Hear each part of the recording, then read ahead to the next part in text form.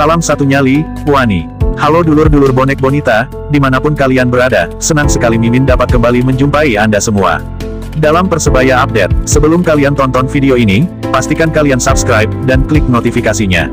Terima kasih. Oke, kita langsung saja.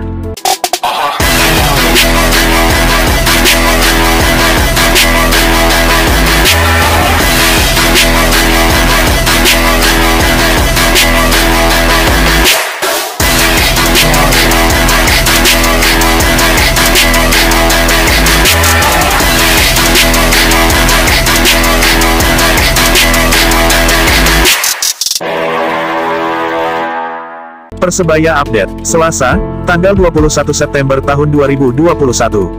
Jelang hadapi Bayangkara FC, Persebaya evaluasi mental pemain dan matangkan taktikal.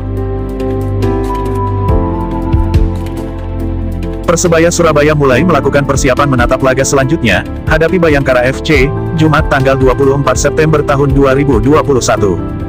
Sebagai bagian persiapan menatap laga pekan keempat Liga 1 2021 itu, pelatih Persebaya, Aji Santoso katakan timnya akan dievaluasi, tidak hanya sisi taktikal, tapi juga mental. Pasalnya, dari tiga laga yang sudah dijalani, Aji menyebut bahwa mental pemainnya belum stabil.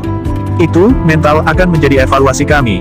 Ketika nanti kami melakukan evaluasi semua sudah lengkap, kata Aji Santoso usai latihan tim, Senin tanggal 20 September tahun 2021. Melalui video juga kami akan kasih tahu pada seluruh pemain apa yang menjadi perhatian untuk ditingkatkan, tambahnya.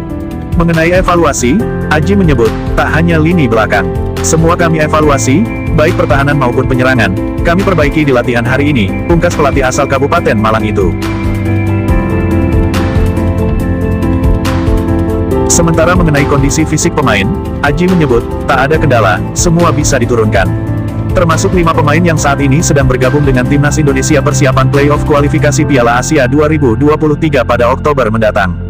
Lima pemain Persebaya tersebut, Hernando Ari, Arif Satria, Rahmat Irianto, Ricky Kambuaya dan Rizky Rido.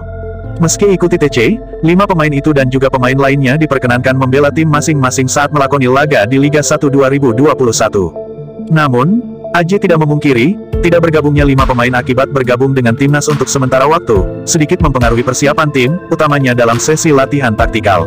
Pasti mempengaruhi karena latihan ini kan selain perbaikan juga untuk persiapan pertandingan berikutnya, tapi nanti ketika mereka pemain gabung timnas datang akan kami ulangi lagi, jelas Aji Santoso.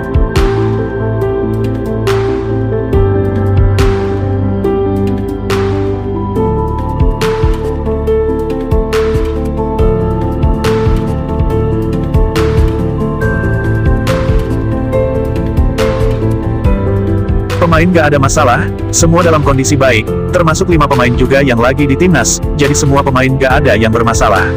Semua pemainnya siap diturunkan, tak ada yang absen karena cedera atau akumulasi kartu, pungkasnya mengakhiri.